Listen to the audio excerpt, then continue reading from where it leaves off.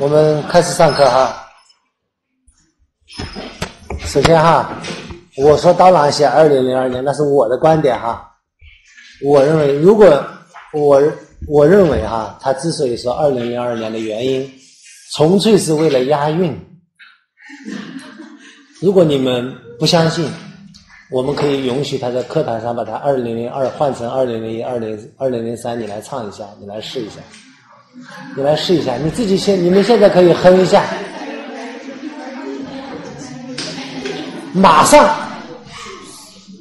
二零零二马上是一个平淡的过程。如果你改成三，就突兀，就有个怪音，明白没有？你比如说二零零三，突突突然就开始炸你把它换成四六九，可能可能相对来讲呢，换成六还好一点。呃，只只有你二零零一、二零零零都不对。所以他呢，只能用二零零二。如果大家有，大家认不认可啊？不认可，你们可以上来，到这儿来对着话筒这样来唱一下。我们可以比赛一下哈。呃，我们刚才讲了这个正肝息分汤哈，我们说它是治疗用于这个中风先兆、中风发作期，用的越早越好。我们学校呢以前有一个老师。这个是我听邓邓老师的老师哈，听我们邓中佳老师讲的，说是这个老师呢，以前在带邓老师他们的时候，八十年代初期就讲说正肝息分汤，中风发作期用的越早越好。说改天我要是得了这个，我要是得了这个病啊，你们一定要给我开重肝息分汤，一定要给我开正肝息分汤。结果呢？说是彭老，我不认识彭老，我听邓老讲的。说彭老生病住院以后呢，呃，真的就是这个病。然后呢，但是因为他级别太高了，那个时候呢，可能省里边组织了，那个时候有从医啊、从医啊、省医院啊、华西啊这些医院的专家来给他成立医疗小组，专门给他看病。医疗小组都是西医为主，所以说呢。这个可能邓老师他们那会儿级别还不够，就没有排上队给他开正肝细分汤，所以说呢没有用成哈。不管此事真假，我们讲这个呢是讲给大家强调呢，正肝细分汤是在中风先兆、中风发作用的越用越早，这个是这样一个特点。然后我们看这个大定风珠，这个大定风珠呢，这是在温病调变里边的方子，它是治疗什么温热病后期以后阴液不足以后呢？呃，出现了一种什么阴液不足？我们说邪已去八九，真阴仅从一二。是想的正邪抗争，驱邪的过程中，热病温热之邪耗伤阴液，阴液呢杀敌一千，自损八百，对不对？实际上呢，在这个里边呢，阴液不足以后呢，经脉失养以后呢，带来的这种神倦、脉弱、舌降少苔，都是提示阴液的不足。这个支重来讲呢，那么它是指慢慢、缓慢的这种经脉的抽搐，缓慢的这种动。为什么？真阴不足，不仅仅是阴液，实际上往往我们讲治肝常常说了，气血阴阳俱补，很多补益剂后来什么都补，因为它气血津液这些互相有一个依存关系。津液不足以后呢，阴液不足以后，气血也不足，实际上呢，动的力量也没有了，这是这样一个原因在里边。这个病机上呢比较简单，就是这么多。既然是阴虚引起的这些里边的 考虑来讲呢，我们说这个里边呢就强调的是滋阴息风。这里边呢滋阴息风，我们刚才说了，这个呢它就是气血阴阳都虚，把它虽然放在气血双补里边，实际上气血阴阳都补。那么滋阴里边就是，比如说我们看这个方子，可不可以理解成为把炙甘草汤里边人参、桂枝、生姜、大枣这些。温阳的药、益气养颜的养养颜的药都去掉，剩下的就是什么补血养颜、炙甘草、生地、阿胶、麦冬、麻仁，加了什么龟板、牡蛎、鳖甲、鸡子黄、五味子，这些呢滋阴来讲的药。哦，这个里边我们刚才不是说了，说是蓄于牵头者必治戒类于此，就是体现放龟板、龟板、鳖甲、牡蛎啊等等这些呢，来体现这个滋阴。来体现这个滋阴，这个方义上哈，我觉得我们不需要呢展开多讲。它的配伍特点来讲呢，就是大队的滋阴药物，大队的滋阴药物，炙甘草汤里边把其他的益气养阳的药都去了，然后呢，加以我们说介类之品，加以这个潜阳之品，实际上就是咸寒，这些芥类、贝壳、别甲牡蛎这些呢，它是什么？咸寒的。当然呢，入养阴来讲，入肾经这个效果比较好。也就是它并没有用我们说的钩藤也好、天麻也好这些单纯的祛风药，而是通过呢，嗯，大队滋阴药。所以说呢，它把吸风的概念放在滋养，滋养阴液以后，风呢自然就吸了。那么，如果是针对壮火炽盛这些呢，就不能用这个定风珠，不能用定风珠复脉。这个是我们这样讲的。这个方子的治疗呢，相对就比较简单。我们看一下我们这个书里边来讲哈。嗯，这个药理研究都说了，这个方子呢，大量用于后期呢，什么调节骨矿物质的代谢紊乱啊，这些的呢，这方面呢比较多一些。这个方子在现在哈，很多热病后期，比如说，嗯，我们现在临床上也很少碰到这种阴虚风动的情况，为什么呢？现在你别说高热了，邪热了，一般点头痛、感冒、咳嗽，大家都喜欢去输液，喜欢去输液。虽然它是西医的理论，我们还是可以认为那些糖水、盐水进去了都是养阴、滋养津液，对不对？这个时候呢，应该是这现在的热象还是不太容易出现这种，呃，阴虚风动、邪热，比如说高盛之下的这种哈，呃，这这种情况，跟他我们大量灌盐水这些治疗就是这些也有关系，也跟这个呢有关系哈。我们看我们这个书上的思考题呢。专门讲到呢，说我们，呃，川芎茶调散主治什么症啊？外感风邪头痛，对不对？用茶清调下的目的何在啊？我们已经讲了，对吧？还可以呢，不仅仅是比如说引热啊，不仅仅是全方各有温症，还可以通过调这个茶和薄荷这些呢，适用于各种的头痛。呃，这个疏散外风和平息内风均配伍了养血活血药，为什么呀？治风先治血，血行风自灭。那桑叶菊花的配伍意义，在桑菊引、菱角钩藤茶我们也说了，对不对？一个是清肺平肝，一个是呢，哎，那么这里边呢，呃，菱角钩藤茶止血的这两个区别应用哈，我们刚才也说了，呃。正肝细分汤主治何症？为什么配伍川链子、生麦芽、茵陈？这个我们也都讲过了哈。补阳还五汤、正肝细分都用于中风，如何区别应用啊？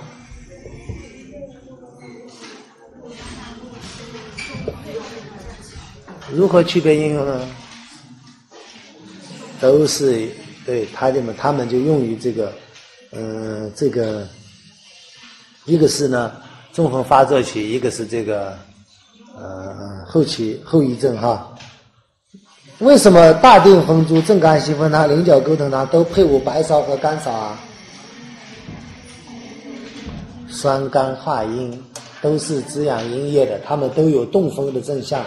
一个呢滋阴呢增液舒筋，一个呢，呃，反正都是因为这些哈。这个呢来讲哈，这个嗯方子呢相对呢比较简单，简单。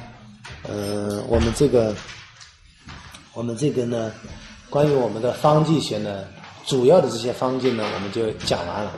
刚才呢，呃，有同学呢分别问这么几个问题：第一，我们中药学专业是不是可以不考处方分析？这个题不是我出，理论上来讲呢，好像从专业的角度讲，你说的有点道理。我又不是学临床的，干嘛考处方分析？假设我们考试要考处方分析，大家也要想，不能呢开始就给自己打上一个烙印的一些。我是不是学临床的就不考病案分析？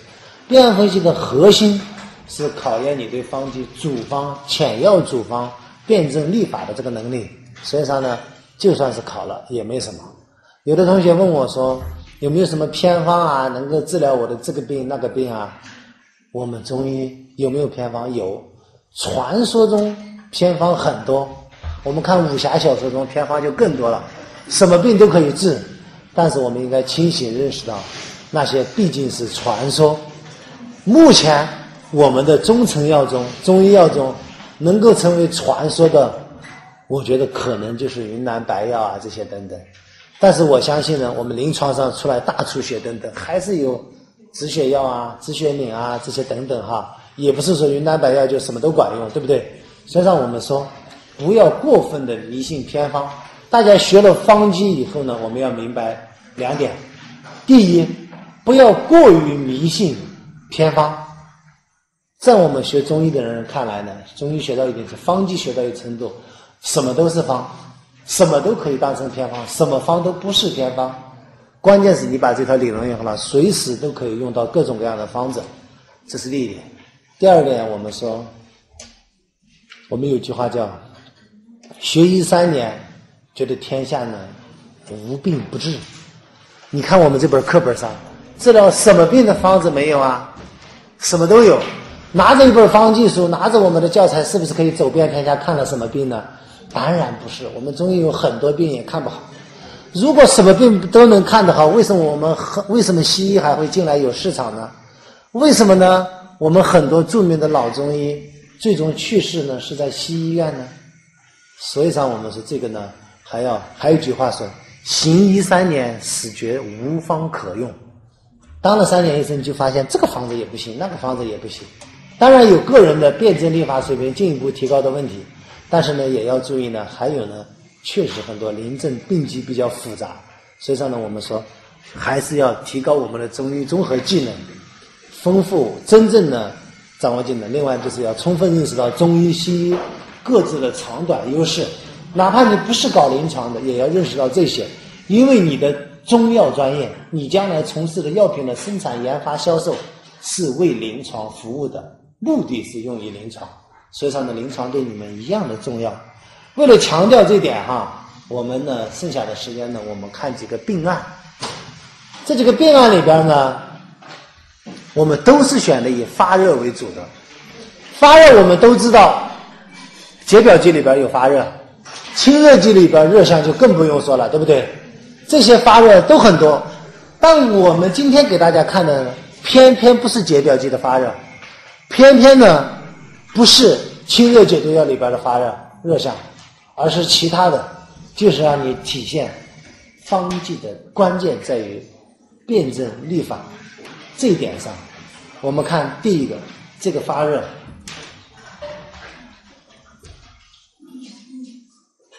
这个里边我们说哈，这个是病啊剖腹生产以后低烧。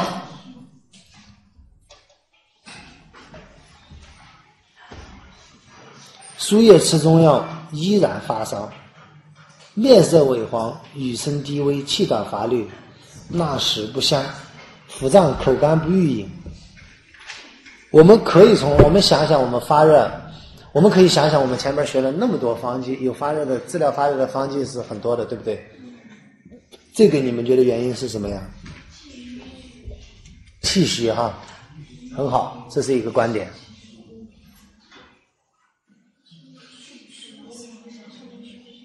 还有呢？啊？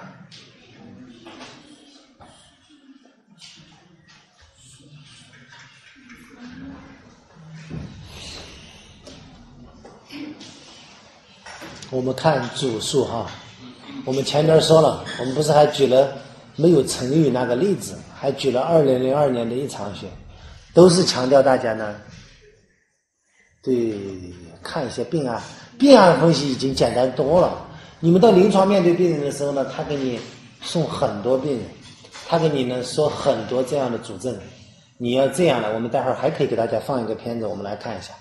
这个里边呢，比如说，比如说，我们这样来分析啊，那，嗯，我们就看还是说这个病人很复杂的很多病案就是什么，他已经归纳出来了。比如说主诉，两个月前生一小孩儿。剖腹式，那么在他的主诉里边要强调，他最重要的问题是低烧。低烧的情况下，那种清热类的、解表类的，一般来讲不至于就是三十七度三到三十七度八，对不对？那么这里边呢，五十多天输液，各种来讲呢，发烧依旧又不高，还有气短乏力、气虚的这些表现，还有什么生小孩剖腹产。舌红少苔，我们在这种病案的时候，往往不像课本上给你打一些。如果说肝病一定要体现脉象是悬，不一定。很多病案是不同的医生这样来分析的。所以上气虚是不是没道理？当然气虚有，它不是有少而乏力啊这些声音啊有吗？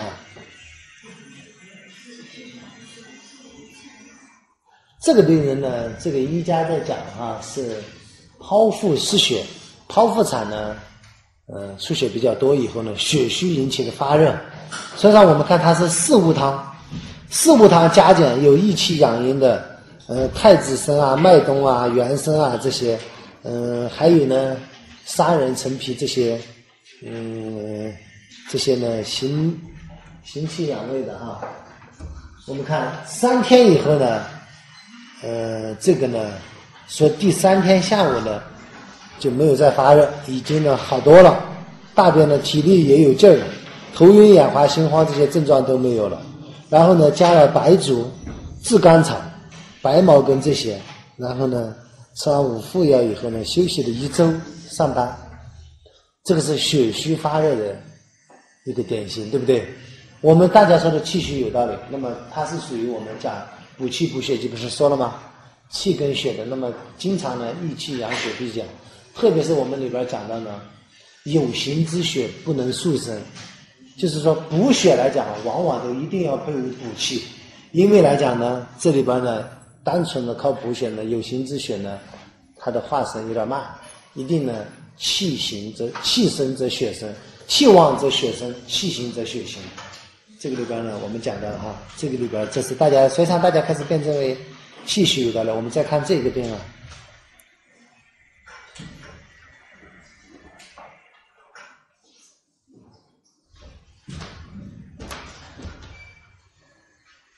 每天下午。三点到四点开始发烧，到晚上就退烧了。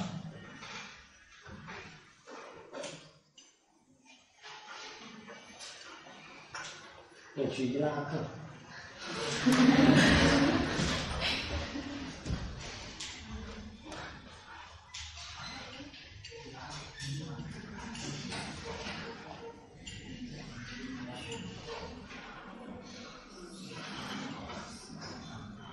这个我们你们觉得可能是什么原因呢？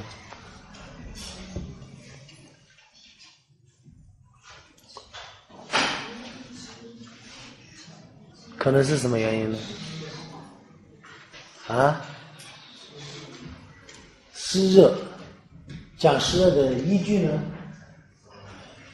哪个同学说的湿热？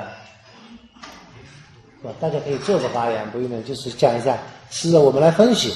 这个病啊，我们中医病啊要注意哈，有时候不一定非得就是某个方子，就是某个方子，有时候呢殊途同归嘛。病机的关键可能是一致的，选方不一定。这个地方湿热来讲哈，理由是什么呀？是因为下午三点到四点发烧吗？下午三点到四点发烧，我们在我们讲到的这种潮热、这种热，一般有哪些啊？阴虚可以有。呃，有积滞也有湿热也可以有，对不对？我们讲三仁汤那些好像说过这方面的。我们还说这个阴阳怪气嘛，湿热在一起的时候呢，它的病机是一种阴阳怪气，因为湿为阴邪，热为阳邪，所以上呢有一些阴阳怪气的地方。比如说它的发热就表现为呢，呃，表现为这个热象不是很高，摸的皮肤比较烫手啊等等。下午呢可能比较多一些，比如说他的出汗。跟桂枝汤那些汗症就不一样，这个方子哈，我们看一下呢。嗯，写这个病案的人呢，他强调呢，这是没有表症，是一个里实热症。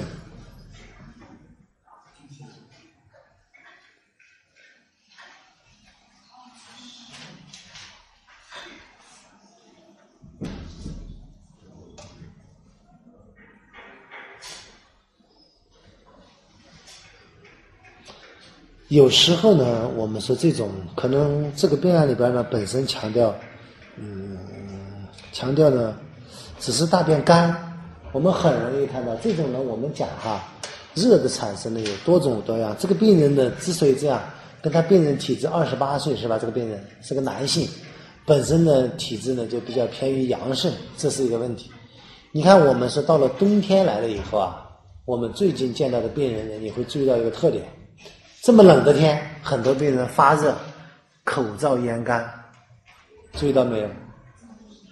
很多人，这种病人你细问的话，一个呢年轻人比较多，一方面呢是我们说的阳盛之体嘛，再一个要注意，冬天他穿的厚了以后呢，很多时候呢吃的饮食里边还是属于相对来讲呢，呃高粱厚味比较多。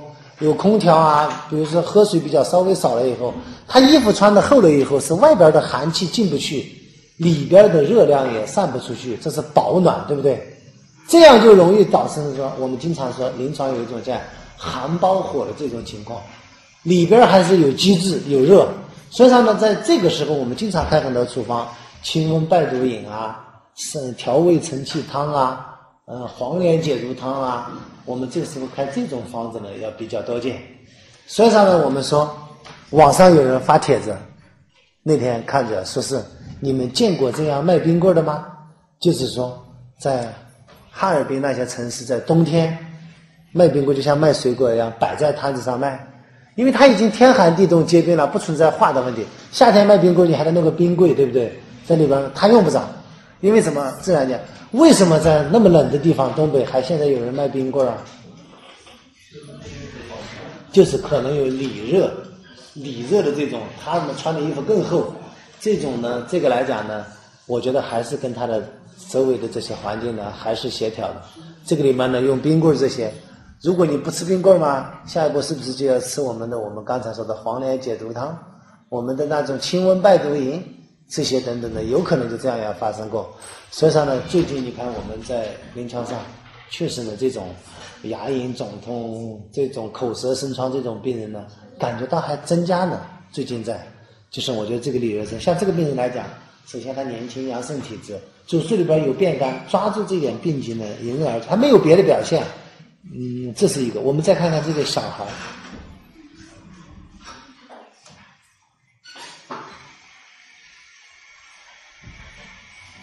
已经发热，这个烧到四十度。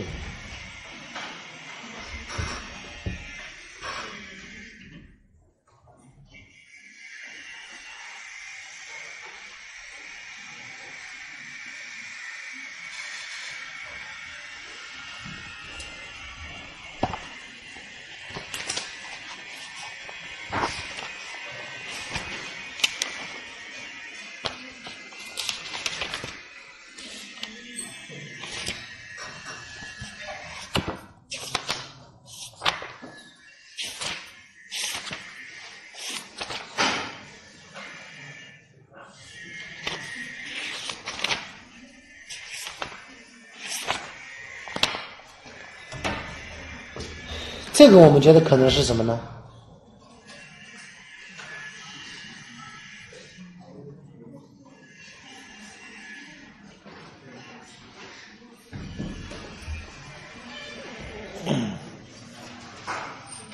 我们看一下这个。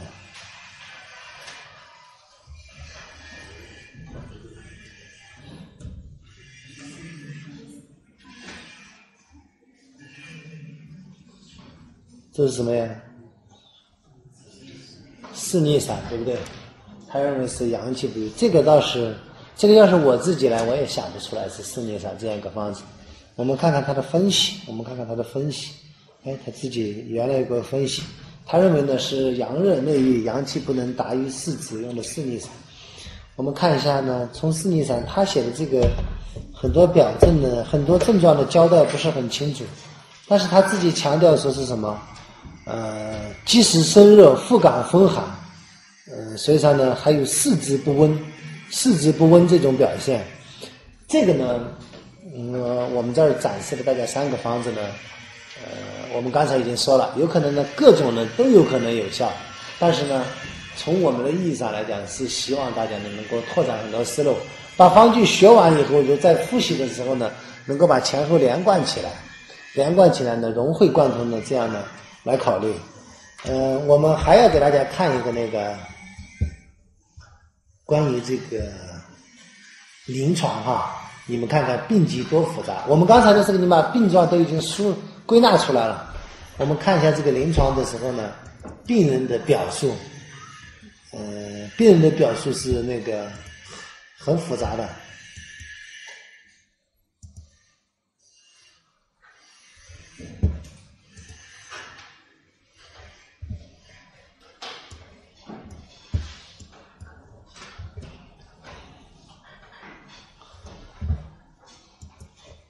嗯，放不出来。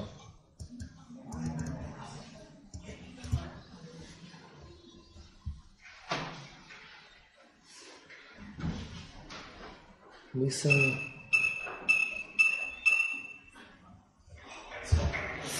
嗯，没声音算了。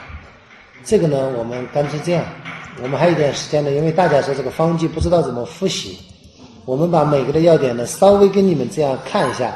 我们只讲前半段哈，只讲前半段，因为什么呢？嗯，前半段呢不是我们讲的，呃，不是我讲。然后呢，我们看一下我们大家在复习的时候注意哪些要点。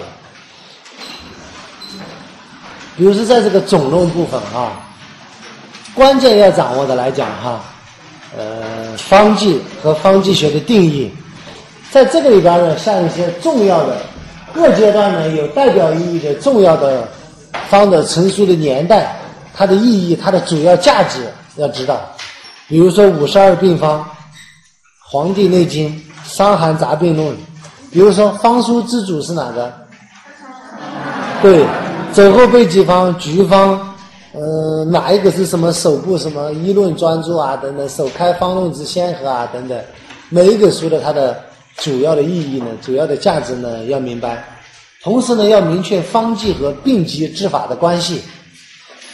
哎，比如说方剂是体现和完成治法的啊，那个治治法是指导前药处方的这样一个关键原则。方以嗯，方以法为指导，法随正立。这是我们在前边的时候呢，总论里边呢都很简单，主要是掌握这些。还有呢，比如说我们讲方剂配伍，方剂配伍的概念和目的。方剂配伍的概念目的呢，我们说。有很多，那么这里边呢，最关键的明白，它首要的就是增效和减毒，对不对？这是我们配伍的目的。当然，我们后来这里边呢，方剂常用的一些配伍方法有哪些？它的基本结构、君臣佐使的含义和运用要点，还要能够举出例子来。另外就是方剂的变化的三种形式，我们是有药味加量、药药量的加减变化等等，有这些变化形式、功能和组织的关系。在解表剂的时候呢，比如说麻黄汤，这是我们第一个方。虽然我们现在临床上用的很少了，但是呢，要注意呢掌握，嗯，知道这是外感风寒表实症的一个代表方。特别是这个里边麻黄和桂枝的配伍意义，哎，麻黄又跟杏仁的配伍意义，分别呢衍生出来一些其他的方子，这个要知道。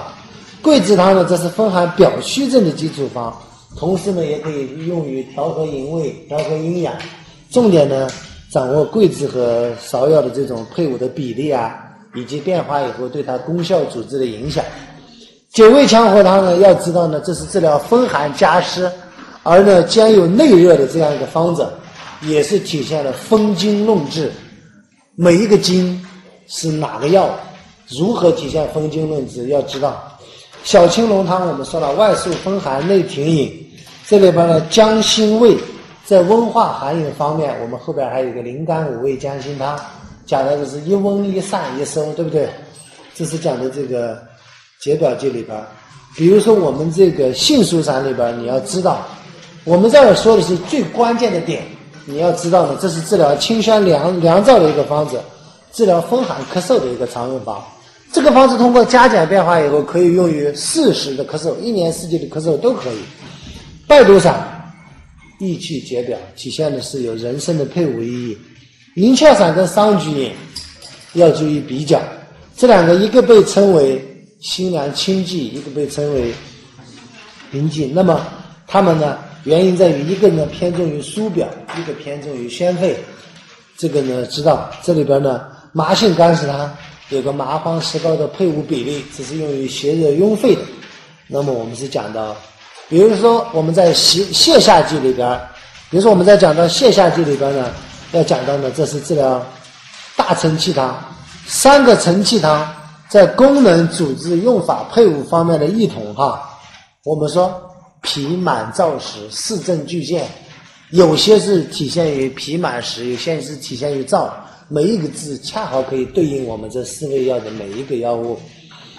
嗯，这里边呢，大黄牡丹汤，你只要知道它是一个湿热血瘀常用就行哈。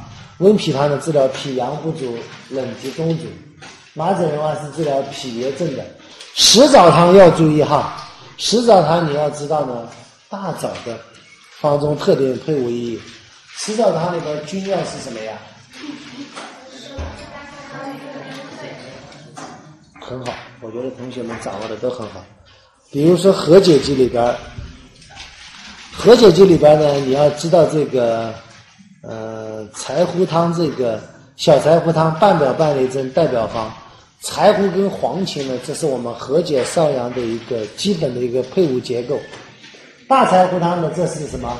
阳少阳跟阳明合并，既有少阳症，又有阳明实热症的一个表现。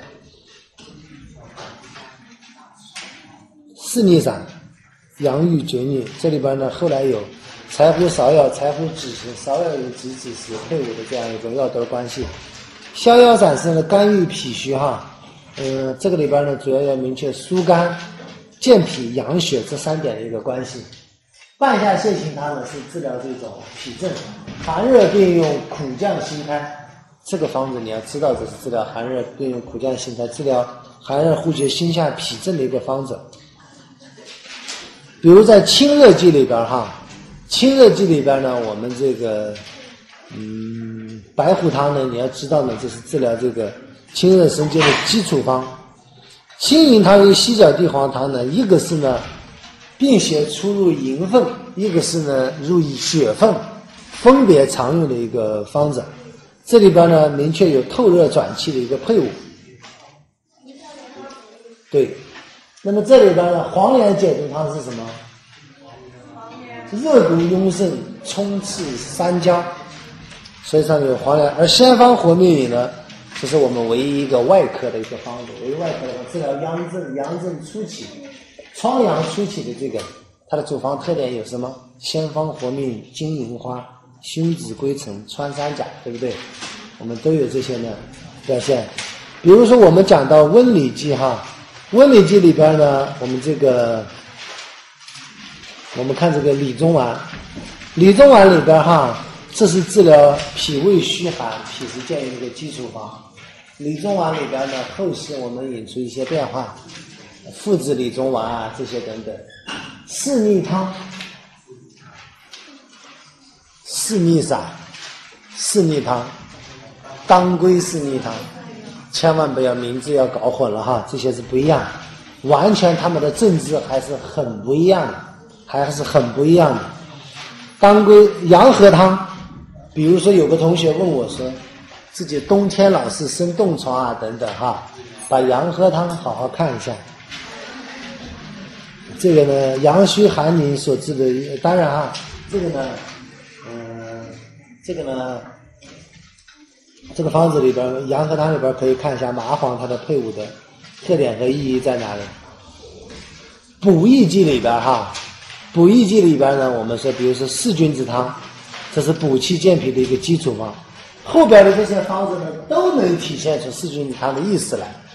参苓白术散呢，特别又强调了脾虚湿盛以后导致的这个泄泻呢，相对呢比较多。那么这种呢，可以有这些表现，这个里边配伍的也比较多哈，比如说桔梗在方中配伍有特点的几个意义啊等等。补中益气汤呢，是治疗肝温除大热、益气生上，治疗生马、肠柴火、黄芪、生马柴胡配伍的这样一个特点。